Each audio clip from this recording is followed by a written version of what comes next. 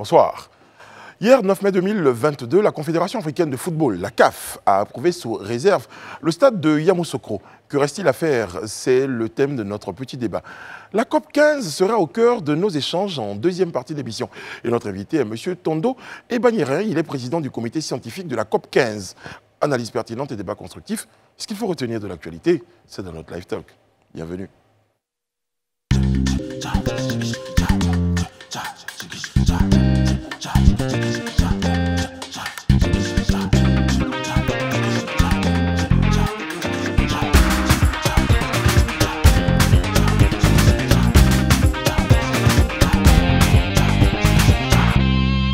Oyez, oyez, nous sommes mardi et c'est avec beaucoup de plaisir que nous sommes à nouveau des vôtres. Et sur ce plateau, il y a des couleurs, il y a de l'amour, il y a du bonheur, il y a des parfums.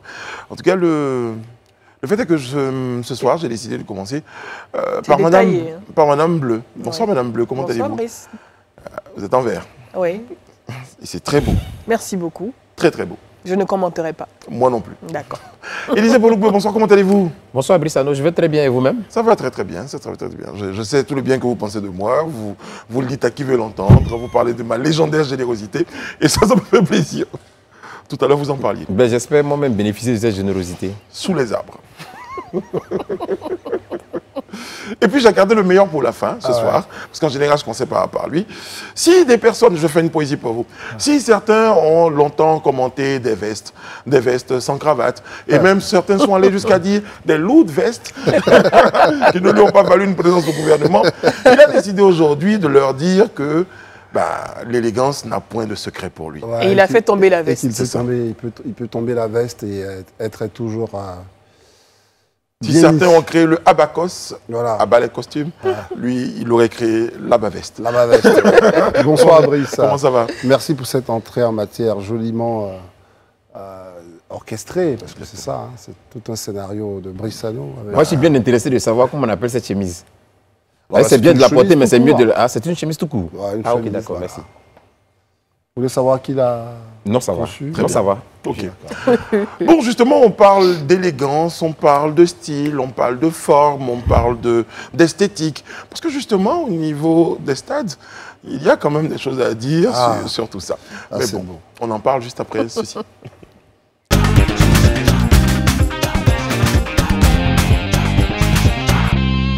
La Confédération africaine de football vient d'approuver temporairement le stade de Yamsokro. Des réserves et recommandations ont été faites euh, par l'instance euh, continentale du football à la Côte d'Ivoire. Nous en parlons. Il disait, vous, qui suivez très très près le dossier du, de l'organisation de la du football, eh bien, euh, ça ne vient pas vous rassurer, tout ça. Non, pas que ça ne vient pas nous rassurer. Déjà, je pense que pour, pour ceux qui suivent l'actualité, il y a quelques mois en arrière, on a été tous désolés de constater que notre équipe nationale était obligée de jouer à l'extérieur, hors de la Côte d'Ivoire, parce qu'on n'avait pas de stade pouvant abriter. Aujourd'hui, la CAF nous donne cette opportunité-là à l'équipe de Côte d'Ivoire de pouvoir disputer ses rencontres en Côte d'Ivoire, notamment sur le stade de, Yamsokro. Toutefois, la, CAF émet des réserves, euh, pas que la compétition ne se déroule pas, mais sur le fait qu'il y a des éléments qui manquent le stade dans sa construction, euh, et ça encore c'est vraiment une grande problématique, a, je dirais, raté quelques virages, a raté euh, quelques aspects qui sont essentiels, et la CAF l'a évoqué ici. Euh, c'est par exemple le cas de, on dit que le stade ne répond pas à toutes les exigences minimales de la CAF, intensité de la lumière du stade insuffisante, défaut de banc de touche, euh, souci de maintenance du stade amélioré, donc ainsi que le matériel des équipements Manque utilisés. de tunnel pour les joueurs. stade ne disposant pas de certificat de sécurité. L'absence d'un tunnel pour les joueurs, l'absence de poste de commentateur radio et télé. Donc il y a un certain nombre quand même d'éléments qui manquent. Euh, toutefois, la, la, CAF a donné l'autorisation, en tout cas aux éléphants de Côte d'Ivoire, de pouvoir disputer leur rencontre sur ce stade-là. Déjà, c'est un soulagement pour nous, nous, en tant qu'Ivoiriens, en tant que supporters, de savoir que désormais, en tout cas pour les, prochains mois des éléphants, on pourra quand même euh, voir nos Pachidem évoluer en Côte d'Ivoire, parce que pour les trois matchs qui se sont passés, les trois derniers matchs, on a dû se déplacer, aller à Cotonou. C'est déjà un soulagement, mais en même temps, ça nous met une pression. Parce, et, et c'est important dans la mesure où nous sommes juste à 15 mois du début de la Cannes, et c'est l'un des stades qui a été retenu pour abriter la Cannes. C'est l'un des stades aussi qui avait été présenté par les autorités ivoiriennes comme le stade déjà prêt. Et aujourd'hui, avec le rapport qui sort, on se rend compte qu'il il n'est pas effectivement prêt comme on le, on, le dirait, parce qu'il y a beaucoup d'éléments à corriger, à rectifier. Qu'en est-il de ceux mêmes qui ne sont pas lancés prêts? Oui, effectivement, parce que celui qui est, qui est, censé être prêt avec ses correctifs n'est pas prêt. On se pose effectivement des questions sur ceux qui sont en cours de, de, construction. On espère, en tout cas pour ma part, que ça va, ça, ça, ça va servir, je dirais, de prétexte pour les autorités ivoiriennes de se rapprocher effectivement de la CAF pour voir, pour reviser le cahier de charge. Parce qu'on est même surpris quand même qu'on construise un tel stade avec tous ces, tous ces éléments qui manquent, alors que généralement, pour abriter la canne, il y a un cahier des charges que la CAF donne à chaque pays. Et c'est sur la base de ce cahier des charges-là que les stades sont construits et que les infrastructures sont réalisées. Je reviens à vous, Lisez, tout à l'heure. André, votre point de vue sur... sur, Mon point de vue, c'est que euh, les, euh, les, instances... Euh, euh, nationales, hein, l'ONS euh, qui interviennent, qui, à qui appartient le stade, qui est le, bras armé de l'État pour euh, les infrastructures sportives, infrastructures sportives complètement montre que à ce niveau-là, ils, ne capitalisent pas, ils ne capitalisent pas pardon, sur leur expérience. Parce que là, quand même, pour une organisation de cette nature, se retrouver avec un reproche d'une absence de cabine de, de, de, presse, moi, pour moi, c'est tellement... C'est tellement, tellement des choses Quand, quand Élisée, nous dit par exemple que la CAF a besoin de donner un cahier de charge, mais moi je ne suis pas très sûr non, que... je ne dis pas la CAF, je n'ai pas dit que la CAF a besoin de donner un cahier de charge. Les autorités doivent se rapprocher de la CAF pour passer en revue le cahier de charge. Parce qu'avant la construction des, infrastructures, il y a un cahier de charge qui est dit. C'est sur la base du cahier de charge qu'on commence à bâtir. Maintenant, nous tous on est surpris qu'on arrive à des infrastructures et que là encore, la CAF vient nous faire sortir un rapport où il y a des défaillances, où il y a des manques en fait. Donc c'est pratiquement la même chose. en fait, bande de touche, par exemple. Oui, c'est pratiquement la même chose. C'est-à-dire qu'au-delà d'un cahier de, charges ou pas, aujourd'hui, on sait que le football moderne se déroule dans des arènes qui ont quand même un certain nombre de commodités. Des standards. voilà, des standards. C'est-à-dire qu'après, on peut dire, bon, ah, la, cabine euh, n'est pas, pas grande, elle ne peut pas accueillir euh, euh, plus de monde, mais en tout cas, au moins, elle existe. C'est-à-dire que vraiment, il y, a un minimum. Enfin, un couloir un tunnel pour faire entrer les joueurs, mais attendre les joueurs ne vont pas passer au milieu des autres officiels et autres supporters euh, ou autres euh, officiels qui sont dans le stade. En fait, les voilà. du stade Champrou. Voilà, donc voilà, c'est vraiment. dire qu'il y, y, a un minimum quand même pour des, pour des stades. On l'a vu hein, avec euh, les, les, commentaires qui avaient été faits par, par, la, par la CAF pour le stade des BMP. Donc, pour lesquels euh, il, y a une, euh, une, réhabilitation qui est en cours, notamment pour la pelouse. Là-bas, c'est vraiment un problème pelouse. Voilà, de pelouse. Mais euh, comme tu l'as dit, il y, a, il y, a, forcément un cahier de charge. Avant de passer à la construction d'un stade, il faut pouvoir savoir ce qui est prévu.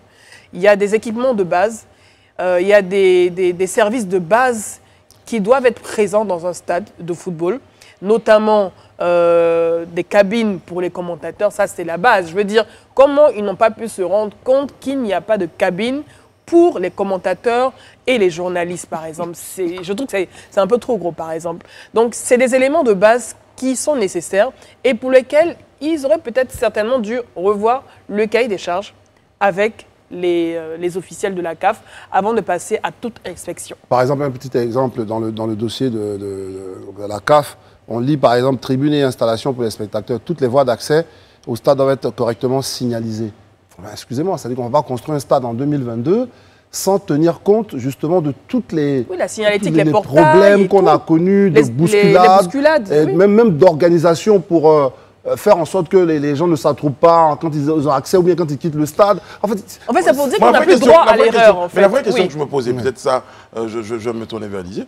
Est-ce que c'est parce que le stade n'est pas totalement construit qu'on a ces manquements ou qu'il y a des erreurs dans les choix euh, des, des, des des éléments... Euh, non, visiblement, visiblement hein, si on doit s'appuyer sur le rapport, on doit le sonder dans le fond, je pense qu'il y a eu des manquements dans la réalisation même de l'infrastructure. Parce que quand on parle d'absence de tunnel, on ne te dit pas que le tunnel n'est pas conforme à ce qui devait être. On te dit absence de tunnel. Ça veut dire que ça n'a même pas été pris en compte dans l'infrastructure, en fait. C'est ce que ça veut dire. Donc, il y a eu des manquements dans la réalisation même de l'infrastructure. Maintenant, j'estime que si la CAF fait ce rapport et que la CAF demande de le faire, c'est parce qu'il y a cette possibilité de corriger, je suppose. Que c'est parce qu'il y a cette possibilité de corriger. Et je crois qu'aujourd'hui, plus que jamais, c'est vers ça que tout le monde doit se concentrer, vraiment de corriger ça le plus et, Et dans le commentaire des officiers de la CAF, il est marqué, il est précisé, à la fin, vérifier les exigences des stades CAF. Donc de la Confédération. Donc il y a des exigences Ouais. pour pouvoir construire des stades aux normes et voilà, qui respectent le les normes de la CAF. Donc je pense que c'est tout ce qui a été cité, c'est quand même un peu trop, c'est quand même trop gros quand même. Non, mais c'est ce que- c'est ce qu'on a dit, je suis obligé de faire une redite. C'est-à-dire qu'encore que si euh, ça existait et qu'on arrive, on trouve que non, ah, mais vous aurez dû peut-être euh, euh, faire ça un peu plus large, ou mais des choses même qui n'existent pas. Enfin. Et au stade, là, à 15 mois quand même du- du- de- d'un rendez-vous co- comme celui-là, on en est encore À à, 14 à mois, se ouais. poser des questions sur les, les- les signalisations, des, choses pour avoir accès au En fait, on n'a plus, droit à l'erreur à, à ce, à ce niveau. On n'a plus droit à l'erreur. euh, les- tous les pays nous regardent, particulièrement euh, d'autres, certains pays. On n'a plus droit à l'erreur. Même si, quand même, tu vois, on, on peut, on peut toujours euh, dire, écoutez, au Brésil, par exemple, quand on faisait la, la Coupe du Monde on en continuait de plaindre encore des 2014, stades. on continue encore les travaux, tout ça. Mais tout ça, ça doit nous servir d'exemple. C'est vrai, c'est au Brésil, c'est un, grand pays, fait partie de la-. Coupe du Monde. Mais quand même, aujourd'hui, nous, tout ça doit nous servir d'exemple. On ne peut pas euh, se lancer, puis au regard des moyens qu'on a, on ne peut pas s'accorder le luxe même d'aller encore payer d'autres euh, euh, employés, euh, d'autres compagnies euh, de, pour venir faire les mêmes prestations qu'on aurait pu faire pendant qu'on construisait le stade. Donc, est-ce que ça dit qu'on aura, euh, on aura à payer des coûts supplémentaires pour combler probable. ces insuffisances Non, mais parce que Ou est-ce que ça fait partie si du obligé de- budget de- de- qui a été prédéfini Ouais, vous êtes Qui a obligé de, été re- payé. de revoir, de corriger un certain nombre de, euh, manquements. Euh, Eric Herman euh, Ayoui nous dit sur nos pages des réseaux sociaux, il dit ça fait honte quand même, c'est comme si on construisait une maison et qu'on oubliait les toilettes. Effectivement. Voilà, des choses comme ça, enfin, ouais. Il manque même des lavabos et des miroirs dans les. Et lui se pose une question, je me demande si on sera prêt. Parce que le stade pilote, des- dont le, le niveau d'avancement est le plus, est le plus, est le plus proche de. On le dit, celui-là, malheureusement, il a toutes ses contraintes. Mais qu'en est-il C'est la vraie question qu'on se Non, pose. après, Bon, après, euh, bon, après, il faut savoir que on- pourquoi la CAF dit chaque fois euh, un stade CAF, etc. Parce que un stade, il est construit pour euh, recevoir du sport. Mais il y a les caractéristiques oui, du foot.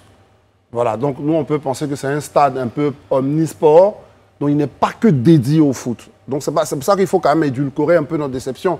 C'est-à-dire que ceux qui l'ont construit peuvent l'avoir fait en se disant que ce n'est pas l'exclusivité du foot ici qui est, qui est prise en compte, mais c'est le fait de faire un stade qui peut être praticable pour tous les sports. bon alors, Donc, une fois qu'on a dit ça, oui, votre question, euh, je ne sais pas si... Pour les autres stades Euh, Comment? Pour les autres stades, c'est ça? Oui, non, votre question par rapport au stade qui est le plus avancé, etc. etc. Non, moi, moi, je pense que les choses ne sont pas comparables. Parce que regardez Ebimpe. Ebimpe, on n'a pas de problème qu'on note ici. Ebimpe, c'est vraiment un problème de praticabilité de la pelouse. Donc, c'est des choses qu'on peut, euh, qu'on peut régler. Donc, ch- chacun des stades n'a pas le même type de problème. Peut-être que Boaké va venir avec un autre problème, etc. Bon, alors, celui-là, par exemple, de Yamoussoukro, on nous dit, par exemple, que l'intensité de la lumière est insuffisante. Donc, je pense qu'on peut renforcer la lumière pour que l'éclairage euh, soit de manière uniforme dans toutes les zones de l'air du jeu. C'est possible, c'est faisable. Euh, souci de maintenance du stade à améliorer ainsi que le matériel des équipements utilisés. C'est faisable. Non, tout est faisable, en fait, Brice, tout est sécurité, faisable. Mauvais positionnement de la salle de conférence et de la salle d'accès des médias au stade. Voilà. Tout est faisable en termes de correction de, de tous ces manquements. Tout est faisable. Bien sûr. Et tout devait être prévu à la base, dans le budget, dans les milliards qui ont été investis dedans. Bon, sur ce, sur ce sujet-là, moi, je, je- je voudrais aussi que. euh, c'est vrai qu'on a fait le constat, on a fait le constat qu'il y a un certain nombre de manquements, qu'il y y a des éléments effectivement qui ne sont pas, qui devraient être là, qui ne sont pas là. Mais comme je le dis toujours, il, il faut, il faut qu'on se donne les moyens d'atteindre les objectifs qu'on s'est fixés. Au stade où nous sommes arrivés aujourd'hui, la Côte d'Ivoire ne peut pas se permettre de dire qu'elle ne va plus organiser cette canne. Ce n'est pas possible. C'est-à-dire qu'on est dans un chemin, déjà même, je pense pour l'honneur du pays, Surtout. on est dans un chemin où il faut absolument abriter la Cannes 2023. On a un peu plus de chance, je dirais, que la Cannes soit passée du mois de janvier au mois, mois de, de juin. juin. Ça nous donne un petit repli de quelques mois qui, je pense, peuvent nous être utiles. Mais cela dit, il faut qu'on se- on retrousse les manches et qu'on se mette véritablement au travail. Pour que ces infrastructures-là, on puisse les- Je me rappelle que, la, que comment dirais-je, euh, la directrice de l'ONS, lors de son, sa conférence de presse au mois de février, a dit et a rassuré tout le monde qu'elle pense, eh ben, pas qu'elle pense, que les infrastructures seront prêtes six mois avant même la compétition et qu'on pourrait même déjà les pratiquer. Mais à ce qu'on est en train de regarder, on ne dit pas qu'on est pessimiste, mais nous, on veut interpeller les uns et les autres sur la nécessité de retrousser vraiment les manches et puis de travailler. retrousser les Parce qu'il faut oui. vraiment que nos stades Et en soient... plus, en juin, en, en juin, on sait très bien que dans la période de mai jusqu'à août, on est en pleine saison des pluies. Donc, c'est un élément également à prendre en compte pour euh, la, je veux dire, la, la construction Ouais. de ces différents stades. Ouais, dans la qui gestion doivent des respecter pelouses, les parce qu'il faut, des avoir des, pelouses. des- des- des éléments pour détremper les pelouses au cas où il pleut et tout ça. A- a Zana. Zana Bénédiction Amon nous dit quel est le rôle du BNET qui est chargé de suivre les travaux? Oui, mais le, le rôle du BNET, c'est- le BNET, c'est le, soufflet, euh, c'est le bras euh, technique de l'État euh, qui accompagne. Parce qu'on dit, par exemple, le stade va être construit par euh, entreprise Brice, mais c'est le, le BNET qui représente l'État qui, qui va suivre justement le respect du, cahier des charges par rapport aux constructeurs. Et euh, voilà, au fur et à mesure. Là, je ne parle même pas du cahier des charges technique hein, en matière de foot, mais par exemple, l'État a dit la tribune doit être euh, constituée de 4000 places, euh, etc. Voici du temps. Le BNEP suit tout ça, la conformité, et etc. Donc, c'est le, le bureau qui, qui vérifie si celui à qui échoua le, le marché le fait conformément à ce qui a été euh, déclaré lors du, euh, de l'appel d'offres. mais, mais la petite question que je me pose, je veux dire, bon, au regard de tout ce que la CAF a, a- a- a décrit comme, euh, comme insuffisance concernant le stade, pourquoi elle permet que le match se joue là-bas? Oui, c'est- c'est c'est bien pour ça qu'on dit c'est des éléments qui peuvent être réparés avant Voilà. le début.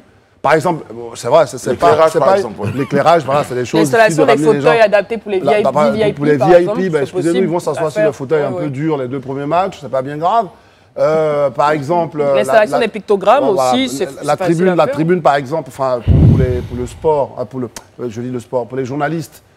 Voilà, c'est pour ça qu'on dit, on dit dans un premier temps, il y a des exigences CAF, parce que la CAF se rend bien compte que c'est important d'avoir quand même des, des journalistes pour commenter les, les matchs. Donc, il faut regarder ce que la CAF prévoit en, en l'occurrence. Donc, le- ça, va, ça, ça va se régler assez rapidement.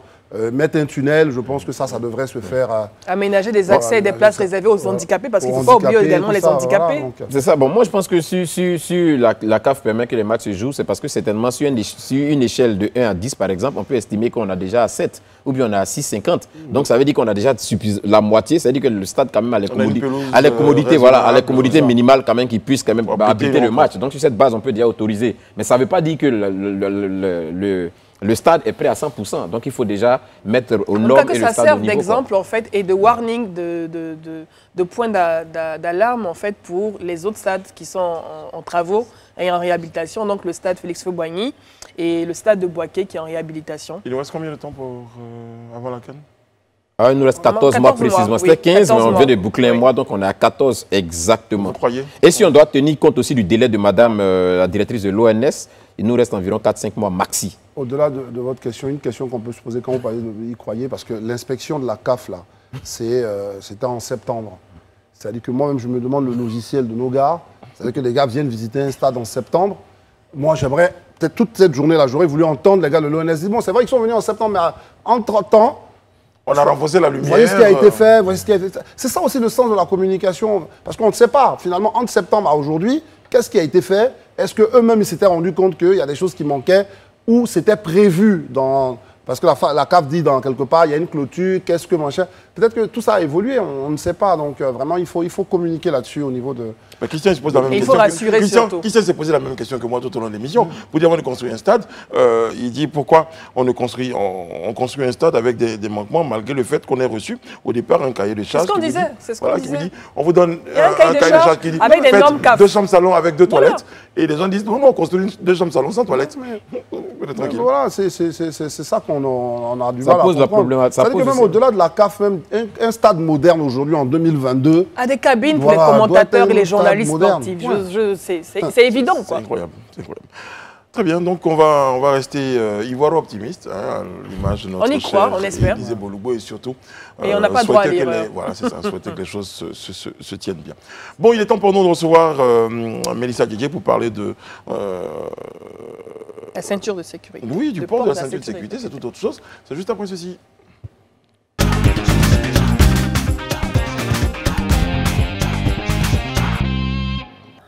Très bien. Voici Mélissa qui nous rejoint. Comme tous les mardis d'ailleurs, il faut, faut le signaler. Bonsoir Euh, tout le monde. Bonsoir, Bonsoir, Mélissa. Mélissa. Bonsoir, Comment allez-vous? Vous êtes arrivé en sécurité à cette émission, certainement parce que vous avez euh, utilisé votre ceinture de sécurité comme il fallait. Le port de la ceinture de sécurité. Il faut qu'on en parle un tout petit peu. Est-ce que c'est obligatoire? À quel moment on met la ceinture Tout ça, on en parlez-vous Effectivement, donc euh, quelque chose d'aussi simple mais essentiel qui est la ceinture de sécurité. Donc euh, c'est régi par le code de la route. Et euh, oui, est-ce que c'est obligatoire? Je vous renvoie à la question. Est-ce que le port de la Oui, ceinture de sécurité est obligatoire? Ben, si C'est c'est régi- obligatoire. je suppose que si c'est régi par le code de la route, il devient donc obligatoire, je suppose. On aurait pu recommander, ça pourrait être euh, obligatoire dans certaines euh, situations. Et en réalité, euh, c'est obligatoire seulement pour les passagers à l'avant du véhicule. Mais ça, c'est. Les passagers à l'avant, le chauffeur et le, le copilote, c'est ça ce qui est intéressant, c'est pour... ça, c'est en Côte d'Ivoire. Voilà, exactement. Ouais, Bon, ça. après, Oui, la, oui. la- la loi date Non, de dis pour- 1981. Donc, ça. elle n'a pas encore été actualisée ou réformée. Donc, effectivement, selon les standards euh, occidentaux qu'on connaît, euh, Le le, port, de la ceinture de partout, euh, sécurité est obligatoire pour tous les passagers. euh, Vous avez un bébé à l'arrière, il faut qu'il ait sa ceinture. C'est ça. il faut sa ceinture. Mais ici, ce qui est obligatoire, c'est le chauffeur et la personne, le euh, passager à, à côté du chauffeur. Et ça va être pour la majorité, la, plus- la majorité des véhicules qui circulent en ville, donc euh, les véhicules particuliers, les camionnettes, euh, les véhicules euh, dont la charge, je pense, ne dépasse pas 3500 tonnes, donc à peu près tous les véhicules. Mais il existe des dispenses, donc en fait, ce n'est pas obligatoire pour tout le monde. Mais prenons les- par exemple bon, le cas de, de cars de transport, où il y a des passagers à l'arrière, de nombreux passagers. Pour leur sécurité, Attends, ce n'est pas euh, obligatoire. bon, Bah, alors, Madame. Bleu, Si. il, faut, il faut déjà qu'on explique la question des... des avant, Des vous allez parler des cas. Est-ce que vous allez aller, vous voulez partir avant? Je comprendrai si vous Tu as tout compris. C'est exactement ça. Alors, déjà, dans les, dans, les, dans, les, dans les véhicules, lorsque vous montez dans un véhicule, vous avez obligation de mettre votre ceinture, de porter votre ceinture de sécurité. Quand on se trouve à l'avant du véhicule, Exactement. Le chauffeur aussi. bah, le Bien chauffeur sûr, est à l'avant Dans du véhicule. combien de taxis, dans combien de véhicules Abidjan ici, on voit quelqu'un qui a sa ceinture, son passager a sa ceinture. Et puis, rare, je ne sais pas si vous avez déjà été interpellé une fois parce que quelqu'un à côté de vous n'avait pas euh, sa ceinture de sécurité. Est-ce que les contrôles se font comme il faut? Bon, ça, je pense que c'est En tout cas, je n'ai pas monde. encore eu de, de ce, ce genre de cas. Bon, moi non plus. Mais par contre, tu vois, là, tu as donné un exemple, mais le cas du chauffeur de, de taxi, bah, il fait partie de- d'une dispense. Donc, normalement, il n'est pas contraint de porter sa ceinture. Ah, le chauffeur de taxi. Pourquoi, Mélissa? Pour sa Bah, c'est la loi. Le législateur a décidé Oui, c'est vrai ça. que moi, je suis tombé sur des cas comme ça où le chauffeur, il m'a il m'a demandé de mettre ma ceinture de sécurité. Alors que lui Je n'en avait pas. C'est ça. dit Non, oui, c'est pas obligatoire. Le chauffeur de taxi peut ne pas porter. On n'a pas expliqué pourquoi. Ouais. Non, parce que la loi ne lui fait pas obligation, comme La loi ne explique. lui fait pas obligation. La loi qui date de Alors pourquoi 1981 ne lui fait pas obligation de porter la ceinture. Maintenant, on est en 2022. Brice, au regard aujourd'hui des statistiques qu'on a, peut estimer que le législateur doit replancher sur cette, sur Oui, parce que cette loi. certainement qu'il y a une, euh, une situation euh, dans les années 80, une jurisprudence qui fait Il n'y a pas que beaucoup de taxis en 80. peut-être, je ne sais pas, Mais non, mais peut-être ce qui est grave, Voilà, ce que c'est- quand même bizarre. dire, C'est-à-dire que pourquoi en Europe, ils sont arrivés à... À ce exiger gens, à ce que même, tout même le dans les cars de Oui, oui. transport pour enfants, etc., parce qu'ils ont constaté que quand il y a des accidents, voilà, on n'a on pas besoin d'être devin pour voir que sur la- l'autoroute du Nord, il y a plein d'accidents, tout ça. Et les gens n'ont pas les... euh, la ceinture de sécurité aurait pu sauver des vies. Donc C'est là où le législateur doit se- se- Voilà. adapter son affaire. Pour répondre justement à ta question, selon cette loi-là, ben, les, les passagers à l'intérieur d'un car ou ne sont, ne sont pas obligés d'avoir la ceinture de sécurité, seulement les personnes à l'avant. Donc ça veut dire le chauffeur, admettons, du, du car et euh, le ou les passagers qui se trouvent juste à côté. Ou Et je veux quand même de préciser, hein, pour les chauffeurs, pour les chauffeurs de taxi, c'est dans l'agglomération. hein. Donc, euh, ouais. si jamais ils font du, du transport et que j'en sais rien, ils passent d'Abidjan à Bassam, ça, normalement, il faut leur ceinture. Donc les chauffeurs de sécurité. taxi n'ont pas l'obligation, le chauffeur de taxi n'a pas l'obligation de porter sa ceinture de sécurité, mais le, Le le transporteur, lui, Le le, passager, oui. passager, oui. Maintenant, les- le transporteur également, euh, le chauffeur du Mais car, là, il n'est pas dans l'agglomération. il n'est pas dans l'agglomération. Ok, d'accord. Donc, il va être euh, exempté. Il est exempté. Euh, non, excuse-moi.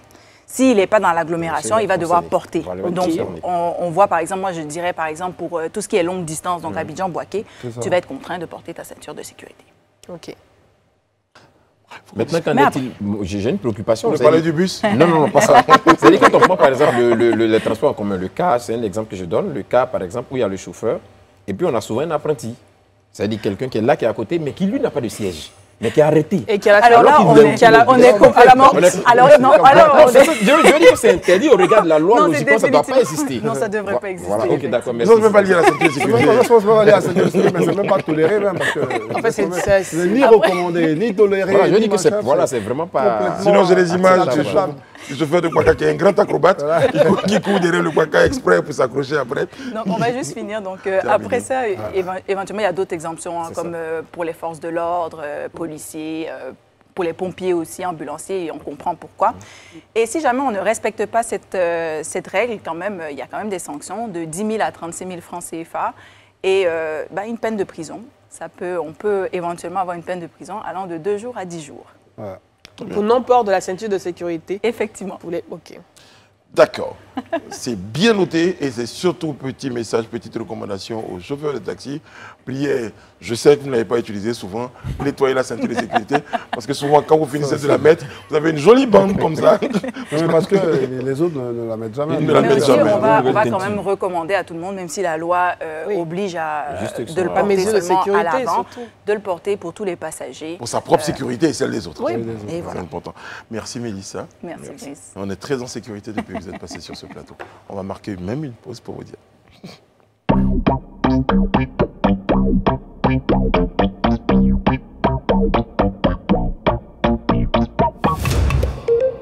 De retour pour la dernière ligne droite de notre rendez-vous. Merci d'être toujours en notre compagnie. Et place à l'invité du Talk.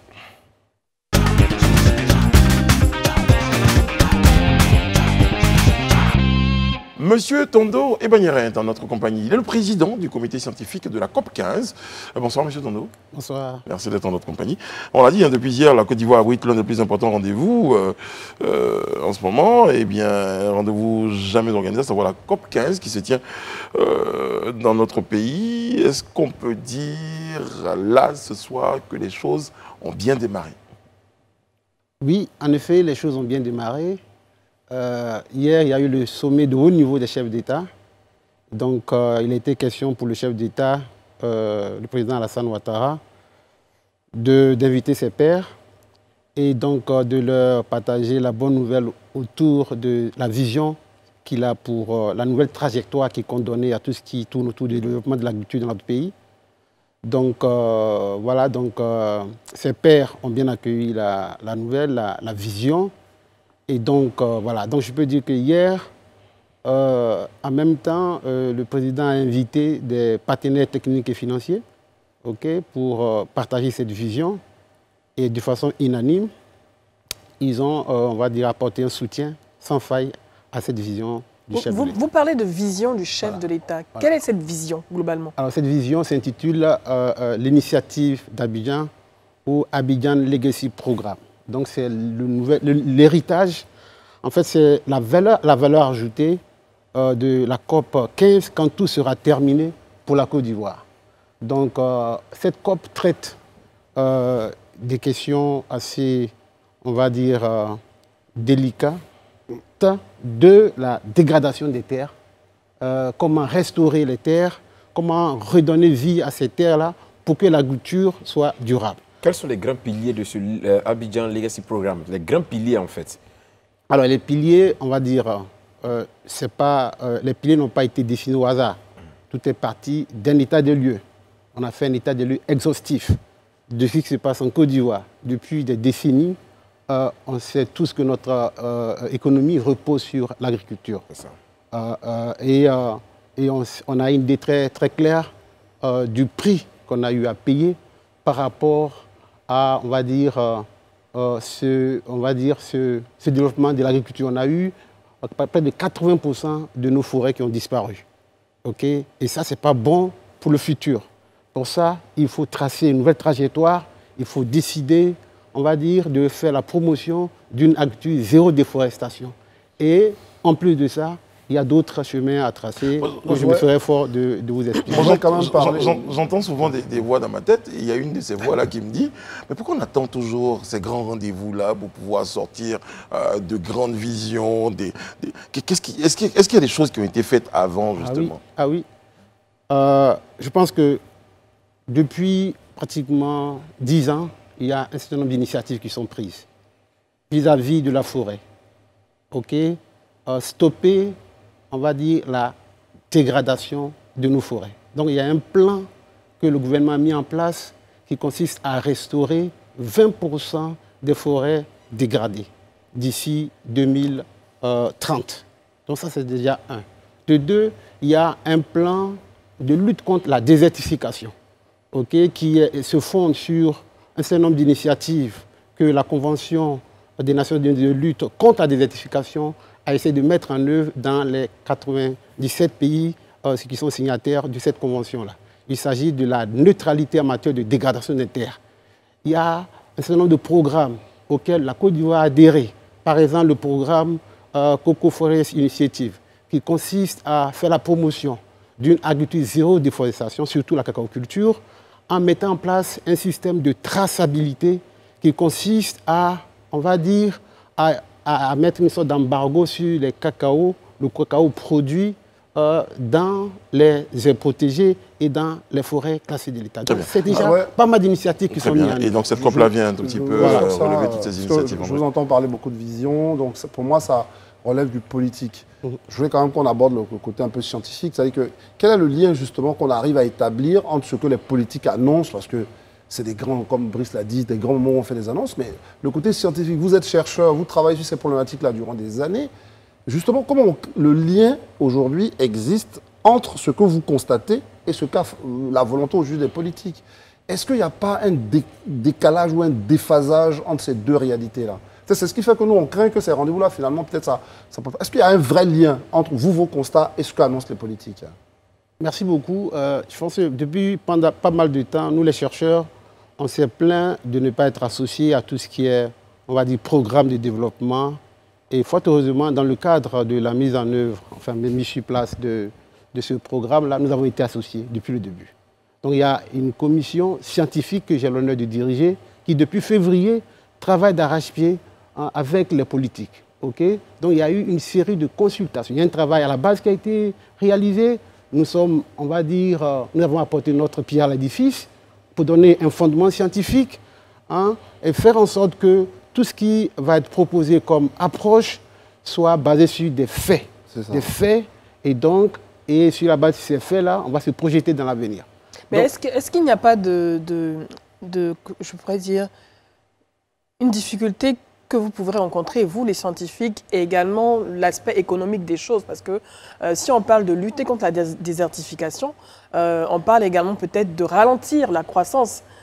Notre économie euh, qui se base sur l'agriculture se base également pour la plupart sur des cultures de rente, comme les VA, comme le café cacao, qui appauvrissent, appauvrissent pardon, les, les sols depuis de nombreuses années.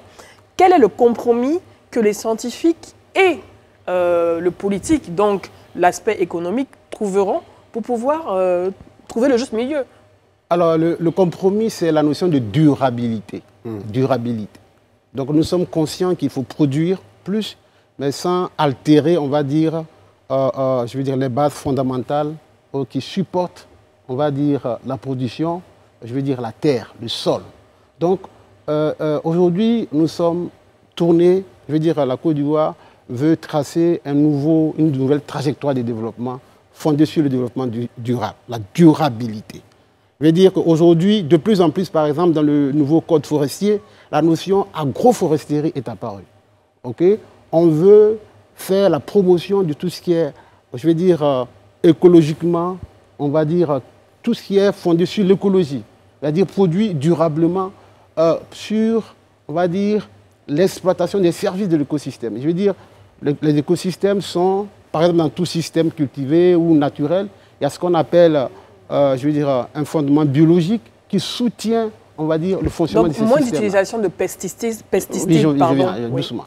Alors, donc, ce que nous voulons aujourd'hui, c'est avoir un compromis. Un, un compromis qui fasse qu'on on puisse produire en bonne quantité, ok, mais pas sur euh, une, euh, une superficie assez énorme. Donc c'est ça l'intensification. On veut prôner l'intensification durable de l'agriculture. Je veux dire, les Ivoiriens sont fiers aujourd'hui de dire Ah, moi j'ai 15 hectares, j'ai 20 hectares, 50 hectares de café. Aujourd'hui, on n'en a pas besoin. Mhm. On a besoin seulement de 5 hectares intensifier durablement. Est-ce que, est que, la longue, ça finit pas par pauvrir le sol, ça, ce, ce ah non, l'intensification durable dont on, dont, on, dont on, parle ici va, euh, sera basée sur euh, des engrais, l'utilisation d'amendements organiques. Par exemple, la Côte d'Ivoire produit entre 17 à 22 millions de tonnes de déchets agricoles.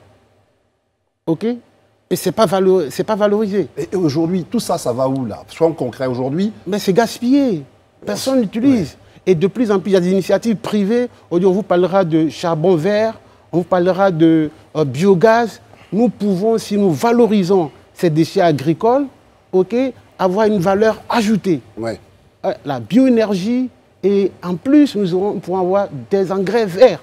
On n'a pas besoin forcément de, de je veux dire, d'aller acheter des engrais synthétiques qui sont pas accessible aux petits paysans. On revient sur cette question. Euh, Monsieur Tondo, je voudrais qu'on revienne un peu sur le Abidjan Legacy Programme. Tout à fait. Voilà, cette initiative-là, à ce qu'on sache, ou du moins hier quand on écoutait le, Premier ministre, qui le présentait à la suite du chef de l'État, il, est, il a un coût, sa mise en œuvre a un coût qui est évalué à un peu plus de 1,5 milliard de dollars de français, de, dollars, pardon. Voilà, donc environ près de, 900, millions. à, disons même, euh, euh, et, milliards, pas millions. Milliards. près de 1000 milliards. Et, et hier, on a vu des donateurs, des partenaires techniques et autres, tout ça, qui ont pris des engagements, des structures et autres, tout ça. Aujourd'hui, est-ce que vous avez une visibilité? Vous pensez que ce programme-là est en train d'être financé Sa mise en œuvre pourrait être financée comme il se doit, avec les engagements pris hier Oui, tout à fait, tout à fait. Il y a eu, euh, on va dire, euh, euh, l'appel du président de la République a été attendu.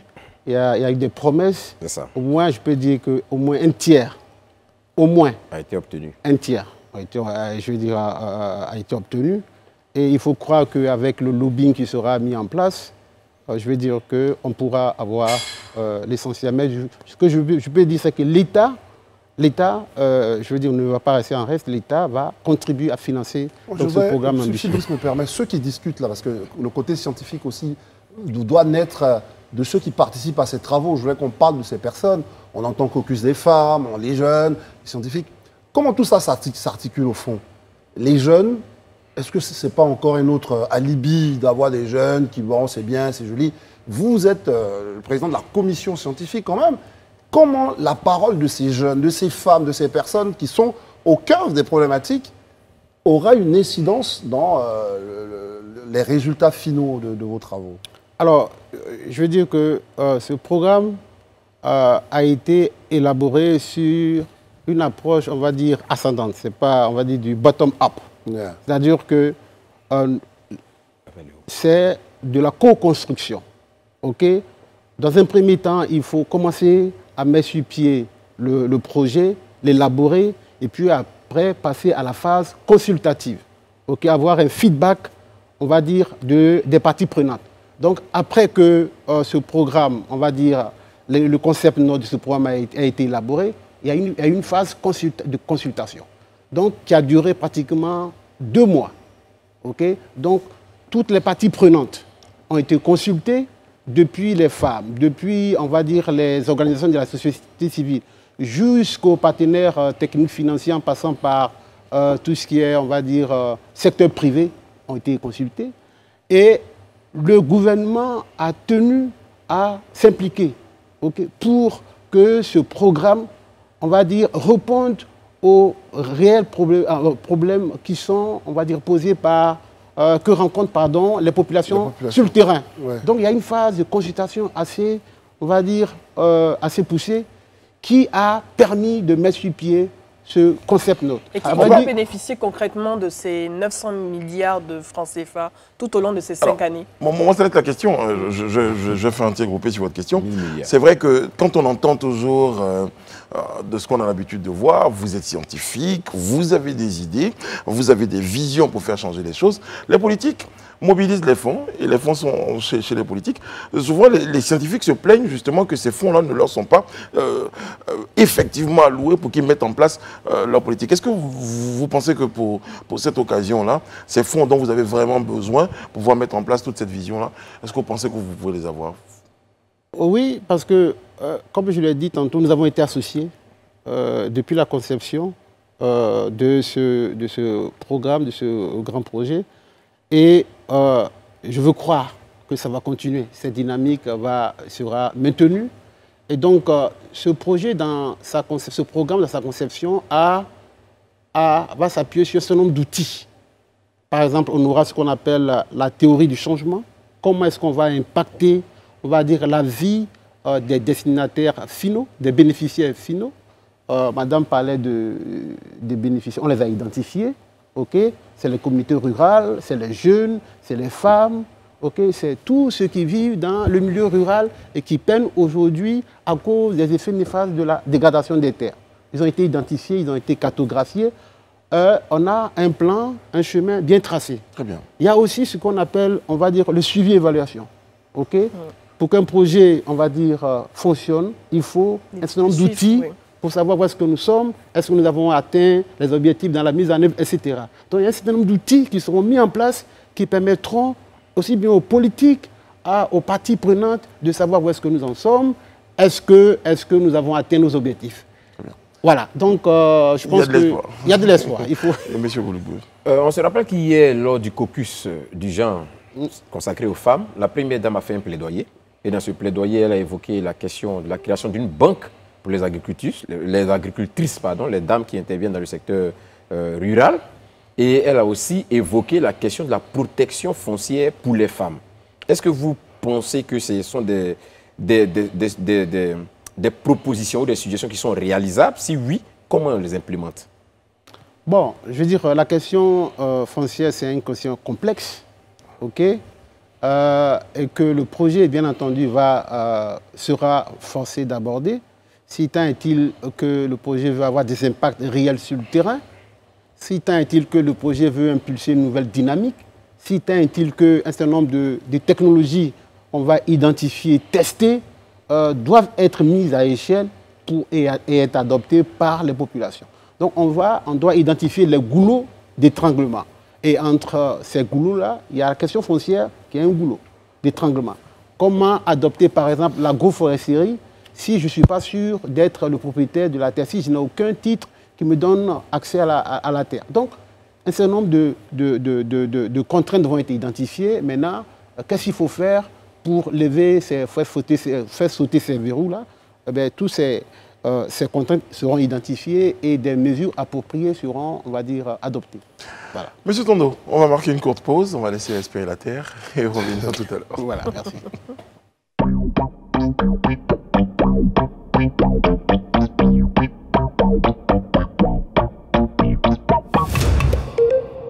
sommes de retour sur le plateau du Live Talk qui est en compagnie de, notre invité. Il s'agit de M. Tondo Ebanirin. Il est président du comité scientifique de la COP15. Je rappelle qu'il se tient à Abidjan depuis hier. Monsieur Bois. Non, je vois le, président de la commission scientifique, oh, il, il est, il est optimiste, euh, tout et tout. Moi, je voulais qu'on me douchait ça un peu, parce que les politiques ont souvent, euh, j'a- j'allais dire, euh, connaissez le syndrome du court-termisme. C'est-à-dire que là, par exemple, prenons notre production énergétique. C'est une production énergétique qui est basée sur l'énergie fossile, donc le gaz qu'on va mettre dans les centrales thermiques, etc. Alors que là, vous nous évoquez tout un axe de développement qui est inexploité. Le biogaz. C'est- Là, là, expliquez-moi comment vous allez pouvoir convaincre le politique de changer de braquet par rapport aux exigences du peuple qui a besoin de l'électricité là et maintenant. Moi, j'ai un peu peur, vraiment, je ne suis pas très optimiste, euh, contrairement à vous. Est-ce qu'aujourd'hui, les scientifiques sont à même de faire changer d'option aux politiques qui, très souvent, sont inquiets parce qu'ils ont besoin tout de suite euh, d'avoir les effets de leur politique? Merci beaucoup. Je pense que euh, vos inquiétudes sont légitimes. Mais aujourd'hui, la situation de la Côte d'Ivoire nous appelle à changer de pratique. Le constat que nous faisons, il est désastreux. Parce qu'on fait un bilan. OK Euh, Sur le plan environnemental, on ne peut que prendre des mesures radicales. Et hier, le président de la République, il n'est pas passé par des gants, pour- il n'est pas passé par, je veux dire, euh, des gants pour- par quatre chemins pour dire que la situation est désastreuse. Et nous devons prendre des Urgentes. maintenant. Il dit c'est maintenant qu'il faut agir. Lorsque vous avez près de 80% ok, de la couverture forestière ok, Disparu. disparue, ok, Ça fait moins de. Voilà, ça fait peur. avec tout ce qu'on sait comme implication sur le changement climatique, implication sur euh, tout ce qui est, on va dire, perte de la biodiversité, ok, perturbation, on va dire, au de, du fonctionnement même de l'écosystème.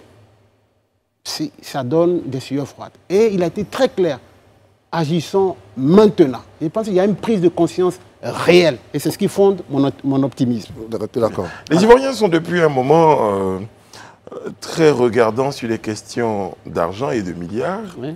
Là, on annonce, de, suivez mon regard, on annonce de- une pluie de milliards. Les Ivoiriens vont commencer à se poser les questions. Ces milliards, comment vont-ils être gérés? Par qui? Est-ce qu'il y aura un mécanisme de, de transparence sur la gestion de ces milliards Mais ne comptez pas sur moi pour, euh, je veux dire, aborder cette question. Moi, je suis qu'un technicien. On fait l'état de lieu, on ébauche des solutions pour l'avenir. Tout ce qui relève de la gestion de ce, de, on va dire, de ce budget qui sera, on va dire, mis à la disposition de ce projet, je pense n'est pas de mon... Je vais retrouver la personne qui s'en J'ai une question. Moi, je mérite d'être là, mérite d'être. Et moi, je vais retrouver la personne qui s'en Est-ce occupe. que- est-ce qu'on aura, on aura euh, parce qu'il y a l'engagement du chef de l'État face à ses pairs et euh, également au- face au monde qui, euh, qui regarde notre euh, pays, est-ce qu'il y aura beaucoup plus de fermeté? Parce que ce sont des engagements qui ont été pris Il y a urgence, comme vous l'avez dit en tant que scientifique, euh, face à la, menace de désertification et de changement climatique. Est-ce qu'il y aura plus de fermeté euh, contre les personnes qui euh, sont les ennemis de la biodiversité, qui sont les ennemis de la protection de la forêt? Est-ce qu'il y aura des, textes qui seront pris, des sanctions qui seront prises pour ces contrevenants? Parce qu'on constate par exemple que les espaces verts sont de plus en plus sacrifiés, que ce soit dans les zones euh, urbaines ou euh, dans les zones périurbaines, au détriment de, de- de- de- de logements ou ce genre de choses. Et par exemple, le trafic de bois dans les zones rurales. Est-ce qu'il y aura de la fermeté? Oui, je peux dire qu'il y a quand même des efforts qui ont été faits. Il faut le reconnaître. Euh, c'est vrai qu'on a tendance à se plaindre beaucoup dans ce pays, mais il faut, c'est normal, ok, pour faire bouger les choses, On aspire à de meilleurs. la remise en cause fait Exactement. bouger les choses. Mais il faut reconnaître qu'il y a euh, des efforts qui sont en train d'être faits, il faut les saluer. Maintenant, euh, Abidjan Legacy Programme va, euh, je veux dire, renforcer ces efforts-là. ok? Euh, les, les aires protégées et les forêts, euh, je veux dire, classées, ont été, on va dire, débarrassées des clandestins Ok. dans la plus bonne. Enfin, je veux dire, moi je connais bien le, euh, le, le parc national du Mont Péco, ok, qui était, euh, oui, infiltré. hein. Aujourd'hui, il n'y en a plus, pratiquement plus. Il y a un certain nombre de, de, de- de- enfin, de forêts classées également qui ont été euh, soit débarrassées totalement ou alors qui sont entrées dans une espèce d'accord, de deal avec euh, les infiltrés. La d'effort progressivement va, on va dire, restaurer ces forêts-là en y plantant des essences. Donc, il y a une certaine, une- une- une certaine stratégie qui est en cours, qui est en train d'être mise en œuvre. Hein, je pense qu'il faut donner le temps au temps pour que, on va dire, euh, euh, les choses. Et derrière ça, il y a un travail de sensibilisation. derrière ça, il y a un travail de hein. Sensibilisation, sensibilisation qui est en train euh, d'être fait. Euh, donc, euh, je veux dire que c'est vrai que la situation n'est pas totalement rétablie, mais il y a une dynamique qui s'est amorcée. Et cette dynamique sera renforcée par ce programme euh, ambitieux qui va être mis en place. Monsieur Tondo, il y a, il y a, il y a un, pro- un projet hein, qui a été lancé par le gouvernement depuis quelques années de restaurer le couvert végétal. Et ce projet a pour objectif d'ici 2030 de restaurer le couvert végétal d'environ moins 20 à 30% Aujourd'hui, est-ce qu'on peut avoir une idée? Là, on à 8 ans de 2030, euh, disons pratiquement même 7 ans. Est-ce qu'on peut avoir aujourd'hui à quel niveau nous en sommes de ce projet? On a assisté à des opérations de planting d'arbres où nous en sommes aujourd'hui avec ces projets? Alors, le, le Conseil Café Cacao a pour ambition, d'ici 2030, de planter 60 euh, millions d'arbres dans le domaine rural. Ça. Euh, ça, c'est euh, basculer progressivement vers ce qu'on appelle la transition agro enfin, agroécologique. C'est la transition agroécologique. OK? Euh, On sait tous un peu comment les plantations de cacaoyers sont mises en place. C'est ce qu'on appelle, on va dire, le plein soleil. Euh, on arrive, on, on coupe toute la- tous, les, tous les arbres. Et il n'y a que euh, les, les cacaoyers qui sont euh, oui, mis en place. Et au bout de quelques années seulement, on a, on va dire, euh, un rétrécissement. Et les cacaoyers, euh, ces plantations-là, les plantations de cacaoyers ne sont plus, ces plantations ne sont plus productives. Pourquoi? Parce que, euh, je veux dire, tout le système ok, qui soutient la production a été perturbé. Et donc il faut progressivement remettre dans ces plantations des essences forestières. Et donc, le Conseil Café Cacao a bien compris cela. Donc, il y a un programme dans ce sens. Et euh, lorsqu'on fait le bilan à mi-parcours, déjà pour l'année, euh, enfin, au bout d'un an, il y a 3 millions d'arbres qui ont été déjà plantés. Sur le- sur l'effectif de 60 millions. 60 millions, c'est d'ici C'est ça, 2030. oui, d'ici 2038, c'est ça. 2030. Ouais, sur l'objectif d'ici Voilà. 2030, Donc, on a déjà Il y a un 3 certain nombre d'efforts qui sont en train, on va dire, euh, De- d'être réalisés sur le terrain. Très bien. Et il y a aussi la sensibilisation. Il faut sensibiliser, il faut former les paysans pour qu'ils comprennent le sens de la transition Parce agroécologique. que ça sert à rien d'ailleurs de, de planter les arbres pendant que d'autres les. Exactement. Donc il y a toute une approche, toute une stratégie qui doit, qui doit soutenir ce, ce programme. Et je pense que l'ANADER est au cœur donc, euh, de, de tout cela et, euh, et c'est important de le mentionner. On parle, on parle vraiment souvent de l'appauvrissement des terres. Euh, parlons aussi de désertification. On a toute une partie nord de notre pays qui est une zone savanicole. Et c'est quoi le niveau de la menace justement de cette partie du pays-là avec, euh, euh, j'allais dire, la progression sans doute du désert? Aujourd'hui, le constat, c'est quoi sur le- la- la, la la menace dans cette zone du pays? c'est l'agriculture extensive. Ouais. Ce sont les pratiques agricoles non adaptées ok, que, euh, que nous sommes habitués euh, depuis euh, des années à, on va dire, pratiquer. à pratiquer. Ok? Je veux dire que, un, nous n'utilisons pas d'intrants. Ok? Les sols sont fatigués. Les sols sont considérés comme des organismes. Comme vous et moi, les sols vivent. Il y a des organismes à l'intérieur des sols qui permettent au sol de vivre, respirer, de supporter la production, on va dire, agricole. Lorsqu'on extrait seulement les- les- la récolte et qu'on on ne, ne nourrit pas les sols, ne soyons pas étonnés que les sols soient fatigués à un moment donné. Les sols, euh, s'ils pouvaient parler, ils allaient dire, écoute, on a besoin... donné, Ça suffit. Ça suffit. Et donc, c'est ça. Et c'est la raison pour laquelle on vous parle de santé des sols. Lorsque on a, on a- on n'améliore pas, on ne, on ne traite pas, on ne repart pas les sols euh, de manière à ce qu'ils soient à même de délivrer, de supporter une production agricole durable, eh bien, euh, je veux dire, on a beau apporter des tonnes de- d'engrais chimiques, ça ne marchera pas. C'est la raison pour laquelle nous faisons le pari, nous optons pour ce qu'on appelle l'intensification agroécologique aller beaucoup plus vers les engrais verts, qui ont cette capacité-là de maintenir, de soigner les sols et de leur permettre de supporter durablement une production agricole. Juste, juste Oui. une question, si je peux rajouter, une, je sais pas, c'est une dernière, la fille Oui. Non, non, juste parce que vous, vous avez parlé des, euh, des engrais, c'est une industrie. Oui. Il y a- il y, a des compagnies. Élisée, euh, tout à l'heure, a évoqué leur, euh, leur investissement, donc leur promesse. Donc, ils veulent se payer, euh, j'allais dire, euh, une forme, une nouvelle forme de légitimité. Les, euh, les, les, les- les- comment ça s'appelle, les industriels. Est-ce qu'on, parce que c'est l'autre pied qu'on doit voir. Il y a vous, les scientifiques, il y a l'État, et puis il y a ces, ces grands groupes industriels qui, qui font partie de ceux qui, qui détruisent. Est-ce qu'aujourd'hui, vous pensez que leur acte, c'est comme s'ils veulent se, se blanchir un tout petit peu ou bien vous pensez sérieusement que le changement de paradigme a lieu aussi du côté euh, de ces producteurs de richesse-là Ben oui, il faut qu'ils comprennent que, un, euh, les paysans, le petit, les petits paysans n'ont pas la- euh, le- les moyens de, on va dire, euh, d'acheter euh, euh, tous ces engrais. De deux, il y a nécessité de changer d'approche.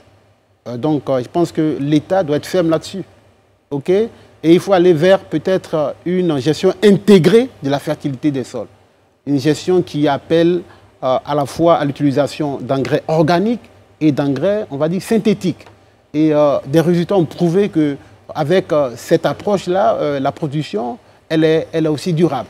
Donc, et il n'y a pas que ça, il n'y a pas que l'engrais, les engrais, il y a tout ce qui est l'eau, de l'eau, la gestion de l'eau. Euh, nous sommes un pays, on va dire, béni de Dieu. Nous avons de l'eau ici et malheureusement, nous ne gérons pas, on va dire, On n'arrive pas à Suffisamment. irriguer suffisamment nous n'arrivons pas même à conserver ce que nous avons de manière à l'utiliser durablement. Donc, l'une, la seconde composante euh, de Abidjan Legacy Programme s'adresse justement cette problématique-là, amorcer ce qu'on appelle l'intensification durable de l'agriculture. Hein, il faut l'amorcer euh, pour ne pas avoir à pratiquer l'agriculture que pratiquaient nos, nos parents il y a, on va dire, euh, plusieurs années en arrière. Monsieur Tondo Ebanirin, je rappelle que vous êtes président du comité scientifique de la COP 15. On Voilà. vous a sorti hein, de, vos, de vos panels, de vos réflexions et surtout des contacts avec vos pairs pour être sur notre plateau. On ne va pas retenir plus longtemps. Merci d'avoir été en notre compagnie moi. et surtout nous apporter euh, euh, tous ces différents éclairages-là euh, concernant donc le rôle scientifique important, hein, on le signale, que, vous, que vous jouez dans cette, dans, dans cette organisation. Merci beaucoup d'a- d'avoir été sur notre moi. plateau. Merci beaucoup. Merci pour l'opportunité. Merci Madame Bleu, André Élysée. Moïse. Je vais pour terminer vous citer un de nos internautes qui nous a dit c'est la jolie chemise d'André. Alors pour classer la jolie montée de papa, c'est c'est la jolie chemise d'André. Et dites euh, oui, je vais dire, euh, bravo. Non, je, je vais parler d'Eliane Lago Ah, qui réalise donc ce numéro du live talk et de tout ce hein, qu'on qu'on a pu réaliser depuis le début. Elle se joint à moi pour vous souhaiter une bonne fin de programme sur Live TV. Donc on vous retrouve demain sur ce même plateau-là avec d'autres sujets, d'autres invités. D'ici là, prenez soin de vous et des autres. Que Dieu veille sur vous, qu'il veille sur la Côte d'Ivoire. À demain.